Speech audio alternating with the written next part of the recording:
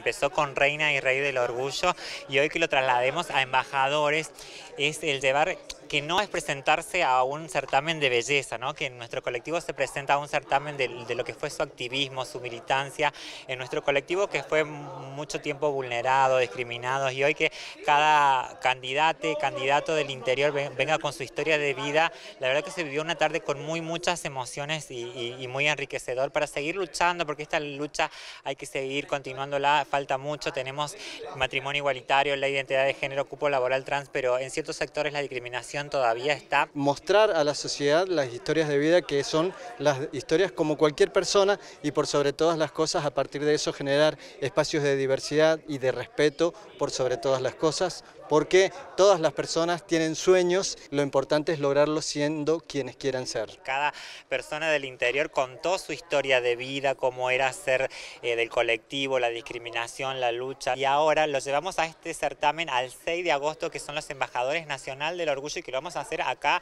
en nuestra provincia. Ella se llama Caterina. Caterina Rosales. Hace entrega de la banda y el reconocimiento, Eugenia y Fernanda. Katy es la nueva embajadora del Orgullo 2022 de San Luis. Nunca me postulé para nada hoy por mi militancia, por, por mi activismo en el colectivo, he sido elegida embajadora del colectivo LGBT. En nuestras épocas de luchas, cuando comenzamos, no teníamos este, lo que tenemos hoy, era la calle y hoy me siento orgullosa de tener un trabajo digno, em, ocupar un lugar en el Consejo Deliberante como secretaria es un orgullo para mí.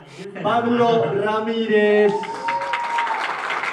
embajador del Orgullo 2022